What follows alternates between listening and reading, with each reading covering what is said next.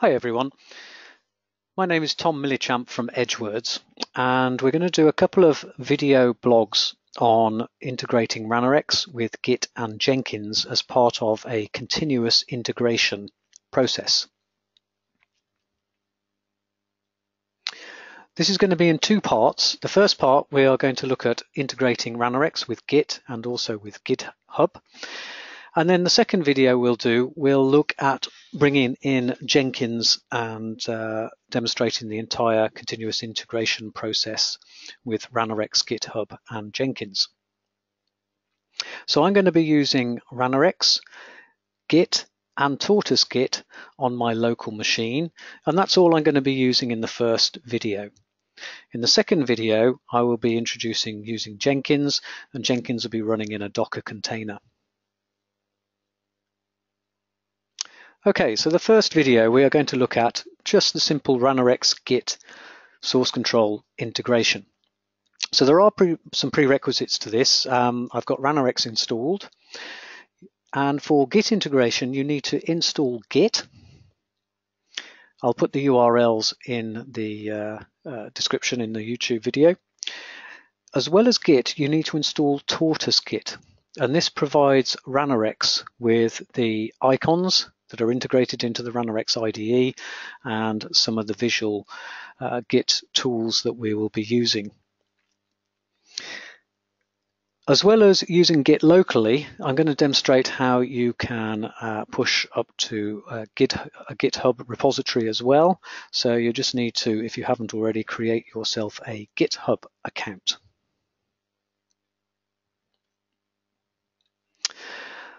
Okay, so once we've installed Git and Tortoise Git, we can invoke Ranorex, create a new project, and we can choose to add that project to source control and then select the source control provider, in this case Git. So this is when you're creating a new project. If you've got an existing project, you can also add that in. So if we open up a project within Ranorex, and then if you simply right click on the solution file within the Project Explorer, right click, source control, add to source control, and then select Git. So you can do this for new project projects or existing projects.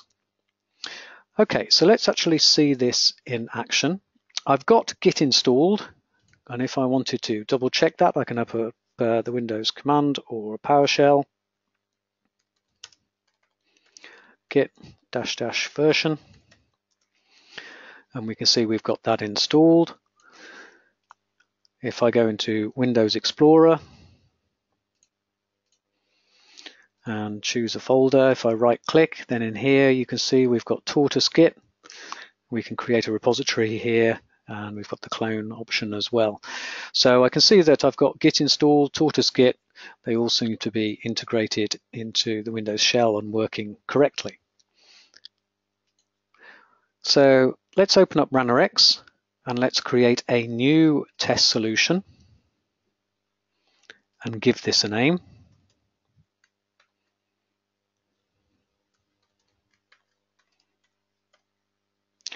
And choose to add it to source control. Click Create.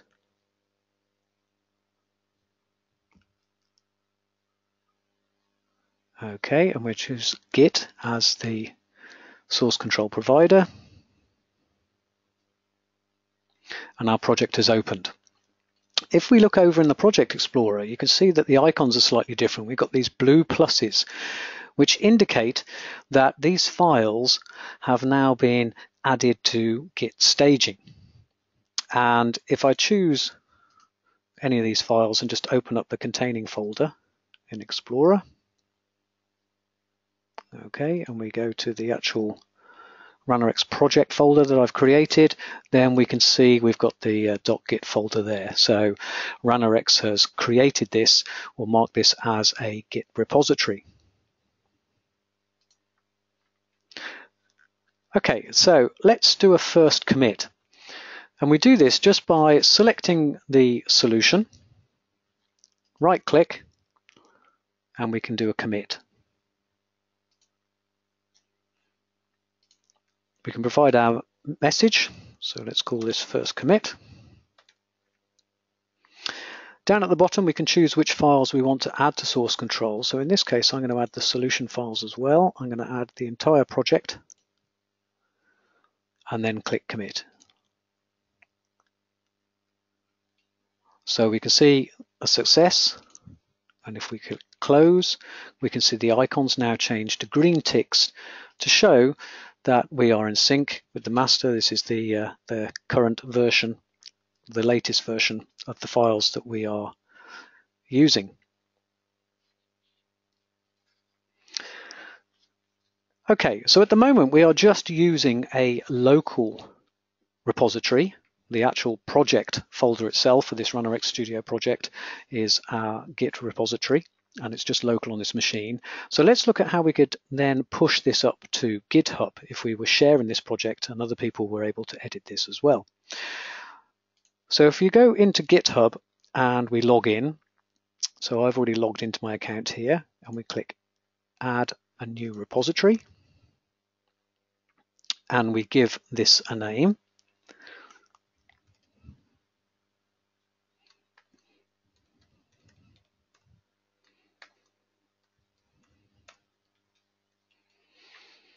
And click Create Repository.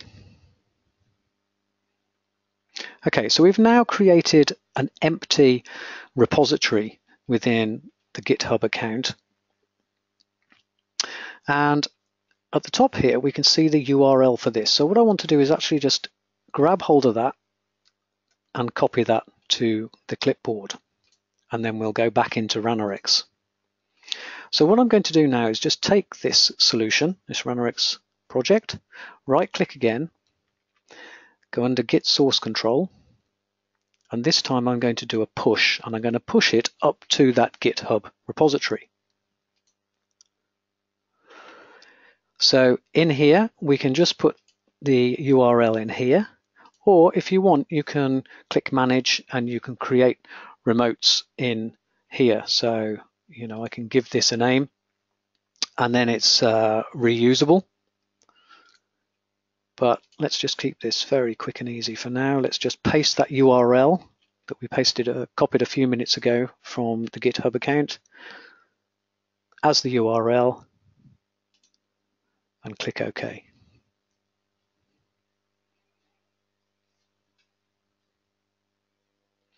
So that's been successful. If I close that and we go back into my web browser, back to GitHub, and we do a refresh in here,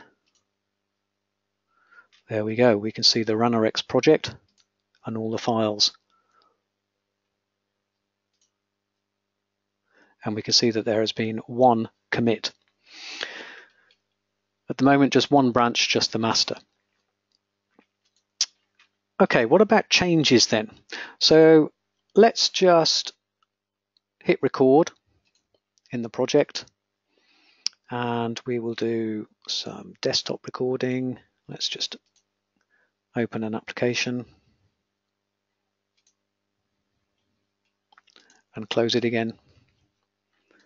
Stop recording at that point. Okay, so we've made some changes.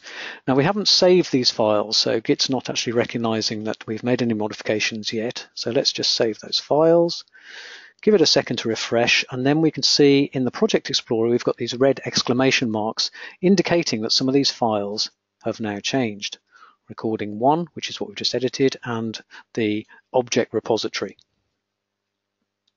If we wanted to see the differences that have been created between this and the, the master, then we can right click and we can use diff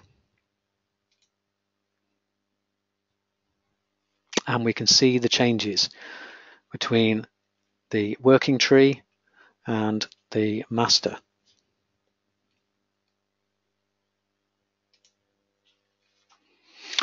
Okay, so once we've made the changes, we can simply commit these changes locally and if we want we could also push this up to our GitHub repository all in one go. So if again right click on the solution and we go to commit and we put in a message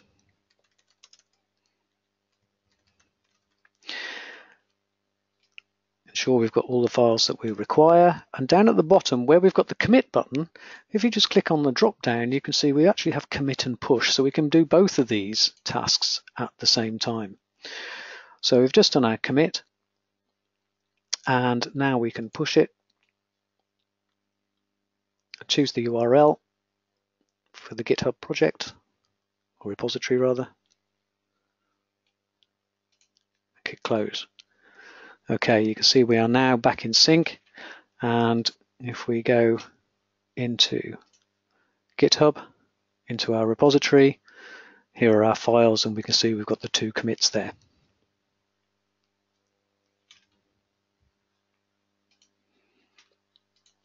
Okay, so the integration with Ranorex and Git is pretty straightforward to set up. It's integrated into the Ranorex IDE. So we've got all of the tools and the context sensitive menus directly available within Ranorex Studio. So that's all I'm going to show you in this video. And then in the next video, we are going to introduce using Jenkins, and we're going to see how we can get Jenkins to pull repositories from GitHub, to build a Ranorex project, to execute it, and also to publish the results. So if you just uh, click the link for the second video, we will see you again then. Thank you very much.